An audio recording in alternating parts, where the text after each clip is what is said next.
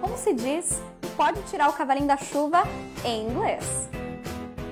Em português, a gente costuma falar pode tirar o cavalinho da chuva quando a gente quer que alguém desista de alguma coisa.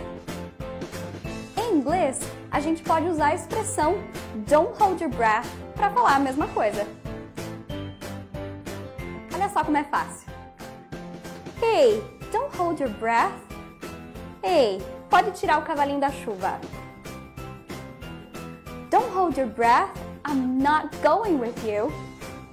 Pode tirar o cavalinho da chuva. Eu não vou com você. Don't hold your breath. You're not going to that party. Pode tirar o cavalinho da chuva. Você não vai naquela festa. Mais dicas sobre como dizer outras expressões em inglês você encontra lá no blog da Flux. Ou então no próximo vídeo do nosso English Pills.